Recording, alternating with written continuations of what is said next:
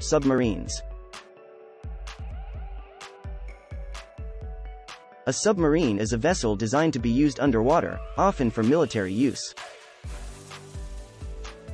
Ballast tanks allow submarines to sink or float.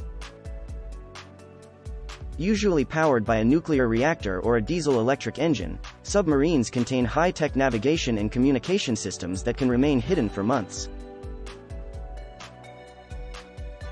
Moving through water.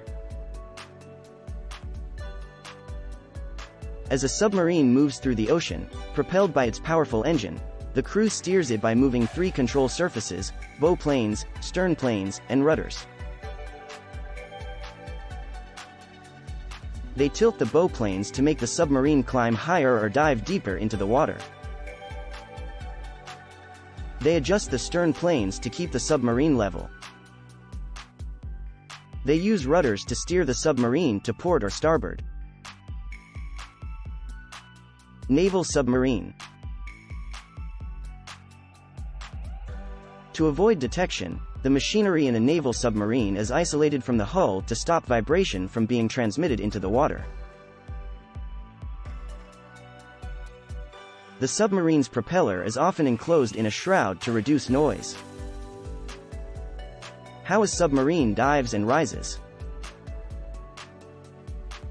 Submarines can dive to great depths and return to the surface again because they can change their density relative to the water around them. If a submarine's density is greater than the surrounding water, it sinks. Reducing the submarine's density makes it more buoyant, so it floats toward the surface. The crew changes the submarine's density by filling its ballast tanks between the inner and outer hulls with seawater or compressed air. Floating When a submarine's ballast tanks are full of air, it floats at the surface. The ballast tank valves are closed to stop water from rushing in. Diving. A submarine dives by opening its ballast tank valves to let seawater flood inside. The submarine, now heavier than the same volume of water, sinks. Taking in more water makes it sink to a greater depth. Surfacing. To rise, compressed air is pumped into the ballast tanks, and water is gradually forced out.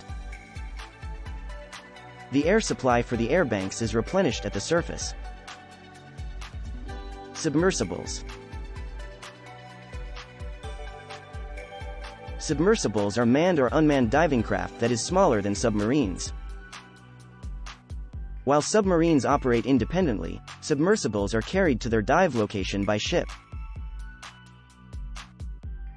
To withstand enormous water pressures at great depths, submersibles have a solid spherical compartment for the crew.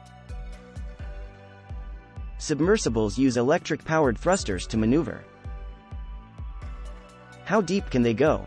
Submersibles from various countries have been able to dive to considerable depths and even reach the deepest parts of Earth's oceans. So there you have it. We hope that you learned something new. If you enjoy the content, please like, comment, subscribe, and share with someone that you know. We'll see you in the next video.